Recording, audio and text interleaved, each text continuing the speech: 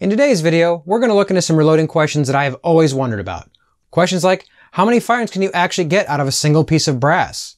How many rounds do you need to fire on a clean bore before you can rely on the velocity data? Basically, how important are fouler rounds? As cases get more firings on it, should the expected velocity change? For the testing we ran today, we essentially ran three separate tests. What is different than normal is the brass that we used, and the fact that we could actually conduct the testing in the same location we were reloading. This allowed us to test the same piece of brass repeatedly on the same day, something I have not been able to accomplish until now. For today's video, we're going to be looking at the velocity response as the brass increases in the number of firings. The test for today be ran at 6.5 Creedmoor, so different calibers will perform differently. Regardless, I still think you may find this interesting, and some of this information might still apply to your application. For all of our tests today, Lapua brass, 140 grain ELDM, and H4350 are all going to be consistent among all of our tests. We're actually going to be using two separate primers. The first primer is the CCI 41 small rifle primer, and the other primer we'll be using is the Fed 205M. The test platform we're using is a Ruger Precision Rifle, chambered in 6.5 Creedmoor. This has had the barrel replaced with a 26 inch Bartlein barrel. For our first test, kind of wondering how many firings we can get on a single piece of brass, we're going to be using one of my favorite loads, 41.3 grains of H4350 behind the 140 grain ELDM. When using the small rifle primer brass, I've had good luck with the CCI 41. This load was not tuned for this particular rifle, but it's worked well in just about every one I've tried it in so far. So to start off our test, we're taking one single fresh piece of the Lapua brass, loading it up. The cartridge overall length we'll be using is 2.820 inches. After every single firing to prepare it for the next round, will be annealing, full length sizing for a 2000 shoulder bump with no expanding device in place, Next, we'll be actually lubing the inside of the necks with graphite and using a .262 expander mandrel to set the inside diameter of the case. After this, we're going to be trimming with our Giraud trimmer, trimming the cases back to 1.910 inches, chamfering and deburring all in the same step. The biggest difference between this test and my normal reloading process is wet tumbling. To get all these tests run the same day, I obviously do not have time to wet tumble in between tests, but we are going to be wiping the cases clean after every step the best that we can. For our first test, we're actually answering multiple questions at the same time. Before we started our test today, we had not cleaned the rifle completely, but we had run a bore snake through it with some ballistol on it. To start our testing today, we actually had a cold bore. We had done no fouling shots because one of the things we wanted to understand was how that fouling shot was going to affect a clean barrel. Right out of the gate, we're starting with a cold bore, clean barrel, and fresh brass. We'll put our velocity chart on the screen and we can see that our first round of the day started off at 2766 feet per second and we'll never actually get to that velocity again. Our second reload of the same case dropped down to 2700 feet per second.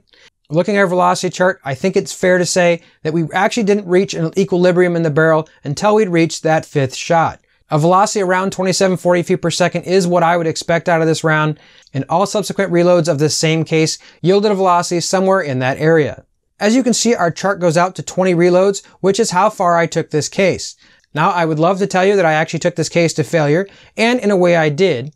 But when we talked about our reloading process, when we talked about the dry lube, when I was going for the 21st reload, I mistakenly had one of the ceramic balls still stuck in the case when I ran the expander mandrel through it, which put a ding in the neck of the case. I'm certain that case would have gone further. How much further I don't really know. But I do think this is a very interesting piece of information. With no damage caused to the case except by my accident, with a very reasonable charge of H4350, these cases will last a very long time.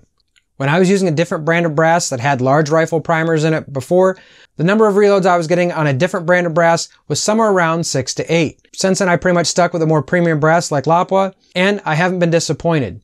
Getting all the way to 20 reloads and not seeing any degradation in the performance is pretty interesting to me. Now, if you're interested in the overall statistics, if you want to include every single round, the average velocity was 2737 feet per second, standard deviation of 14.2, extreme spread of 66. But again, I don't think we normalized our barrel conditions until our fifth shot.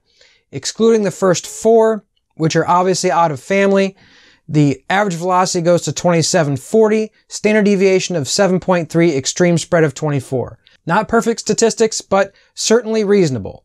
For our next test, we used exactly one more piece of brass, and I thought it would be interesting if we got to develop our velocity curve with a single piece of brass. If we could eliminate the variation from case to case, maybe we could zero in on those velocity sweet spots just a little faster. Now for this next test, we're using again the same components, except we've switched to the Fed 205M, in essence to simulate switching to a different primer.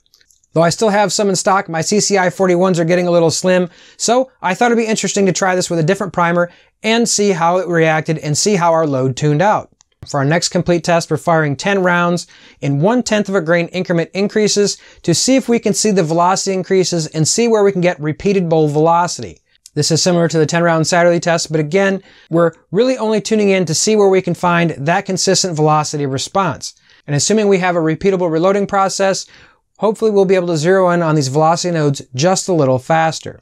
We're going to be testing from 41 grains all the way to 41.9 grains in one tenth of a grain increments. Besides the primer, everything's going to be the same as before, starting with a single piece of Lapua unfired brass and consistently reloading it. Now, since we'd ran our other tests previously, we can note we're not going to see any unusual velocities with our first round. In fact, at 41 grains, we're going to start right off at 2721 feet per second.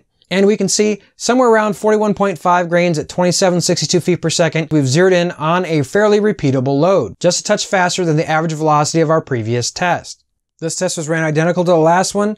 Every single step between tests, annealed, full length size, trimmed, chamfered, and deburred, neck tension set exactly. So if we were picking a load to test out of here, I would pick the 41.5 grains of H4350. And that's exactly what we did to get on to the third stage of this test. Keep in mind our single piece of brass had already 10 firings on it. We're going to run 10 more. Reloading the same piece of brass 10 identical times, our average velocity response was 2761 feet per second with a standard deviation of 5.8 and an extreme spread of 19. And since we'd ran our last piece of brass to 20 rounds, that's exactly what we did and where we stopped. There was no measurable damage of this round, and overall, I think it did allow us to zero in on a very acceptable load. 41.5 grains, just slightly higher than we were testing before. Certainly a better SD, better extreme spread, and just a little bit more velocity. Who knows, if we'd actually ran the same charge in our last piece of brass, maybe we'd have had a better standard deviation in that test as well. Though I don't think this testing is earth-shattering, I do think there's some interesting information that we can glean from the data. Among those things, how long can a piece of brass last? Well, in this case, well over 20 rounds. We're not taking this right up to maximum case pressure, but these loads are no joke, and I've seen lesser brass fail way before these 20 rounds. So this just reinforces one of the reasons why I think it's worth it to buy just a little bit more expensive of brass, especially if you can see this quality difference. The second thing I've always wondered is how many foulers do I really need? And, and, I think our testing today has an interesting answer to that. In some cases previously I've only fired one or two sighters just to make sure I was on target before I started my testing. But it appears if I've cleaned my barrel, I need to fire at least five rounds to make sure that my barrel is somewhat equalized with its fouling before I begin my testing. Putting up our first test over here, one of the things I was very interested in to see how consistent the velocity was and if it trended in a particular direction. Keeping in mind, we're trimming this case every single time. Now, it's not excessive, but we are trimming it. So essentially, the case capacity is increasing with every round. Excluding our cold bore shot, we seem to see the velocity increase until shot 11 and then decrease slightly. It shot 17, that 2751. I'm not for sure if I forgot to brush out the case neck on that. I can't be certain either way. So draw your own conclusion if, if that's random error or not. It seemed very unusual that our velocity seemed to climb, come back down, and then start climbing again. One thing I certainly wish is that I'd had my inline seater set up so I could be monitoring the neck tension as we ran this test. Something I hope to do in the future if I get a chance to repeat this testing. As far as developing your initial velocity curve when you start to do load development, if you're looking for velocity nodes, I think that reloading in one case is a valuable tool. Therefore, you don't have to worry about the differences from case to case. Assuming you can exclude any variation in your reloading process, which is a rough assumption, this may be an interesting way of zeroing in on those velocity nodes without having to worry about any variation from case to case. Though I don't think any of this data is particularly earth-shattering, I do think it's an interesting piece of information, and I might want to build on it in the future. Most specifically, I'd really like to see how the seating force changed from round to round to see if that actually showed up in our velocity response. Loading various tests in the same case seems like an interesting way of possibly reducing case-to-case variation and coming to a cleaner conclusion. But I'd love to hear your feedback in the comment section below. Have you run any testing like this? If you so, what would you change? What did you do different? If nothing else, I think today's test gave me a good baseline for how repeatable my reloading process was, and at least gave me a baseline to work from. Should I make some upgrades, or at least what I think to be upgrades, I'll have at least a baseline to test it from. Maybe we'll make some changes and see if we can get that extreme spread down even smaller. If you want to really geek out on this stuff like I am, you're going to want to check out my neck tension video to see how neck tension actually affects the performance of your reloads. If not that, YouTube thinks there's another video here you're going to enjoy. Thank you so much for watching.